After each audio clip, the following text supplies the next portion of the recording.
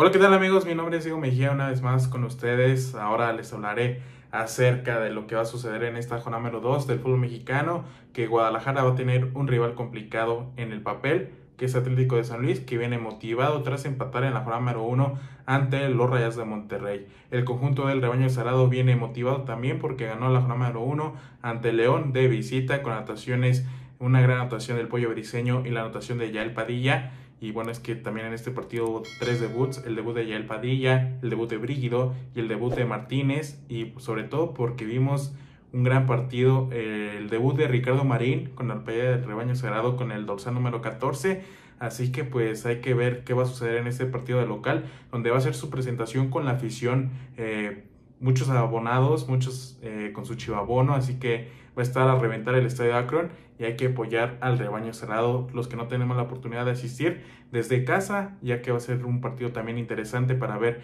el funcionamiento del local y a ver qué jugadores pone en el 11 titular Belko Paunovic. En lo personal no le haría ningún cambio, ya que se vio de una manera espectacular el pollo briseño otra vez rifándosela con la institución en la zona defensiva. También Alan Mozo, el caso del Chiquete, el Chicote. En el medio campo a lo mejor sí me gustaría ver un cambio, pero entiendo que otra vez eh, el Guti no será convocado porque pues todavía no está en perfectas condiciones. Lo de Alexis Vega sigue lesionado, poco a poco va evolucionando su lesión y bueno, así que pues será una gran noticia verlo ya por ahí por el 26 de julio porque va a ser el debut de Chivas en la Lex Cup, así que hay que estar al pendientes de la evolución de Alexis Vega de su lesión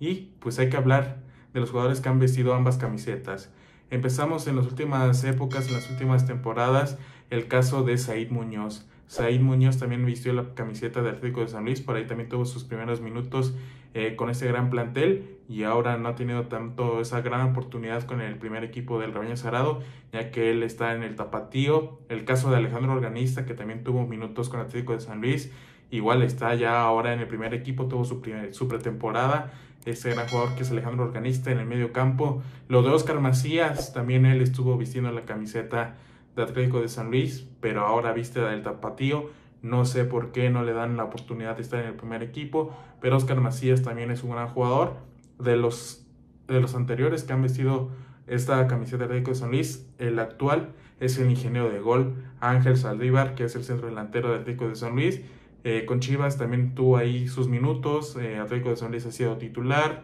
eh, lamentablemente lo comento, el partido pasado falló un penal muy claro y bueno, es así que no pudieron llevarse la victoria, pero hay que ver cómo reciben al Chelo Saldívar en el Estadio Akron. Los aficionados están eh, molestos con su, actuación con el conjunto del Roño Sagrado porque pues no le fue nada bien, pero hay que ver qué sucede en este partido de la jornada número 2 del fútbol mexicano porque recuerden que se va a seguir jugando este este torneo hasta la jornada número 3, después va a ser una pausa y se van a ir a la Lisco. Y bueno, es que el jueves también van a recibir al Necaxa, ya me estoy adelantando, pero hay que ver qué sucede en este primer partido de local del rebaño cerrado. Si te gustó este video, dale like, suscríbete, nos vemos en la siguiente.